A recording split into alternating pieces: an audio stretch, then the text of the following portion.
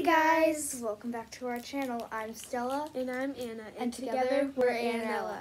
Today we're going to be eating a Kit Kat properly. We just saw a video about this. Um, so basically, we saw a video. Uh, you have to eat a Kit Kat a certain way.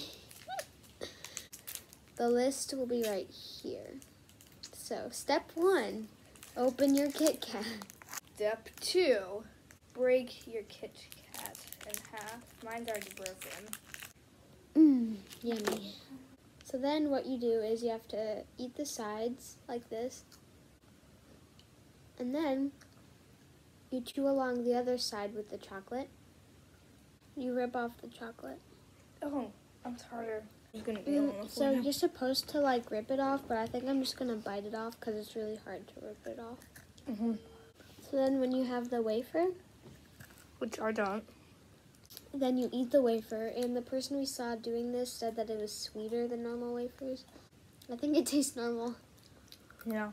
I think this Just- is a good method because It's a good method if you want to savor your Kit Kat. I'm more the person that just. Me too. Thank Thank you so much for watching, and we'll see y'all later. Bye.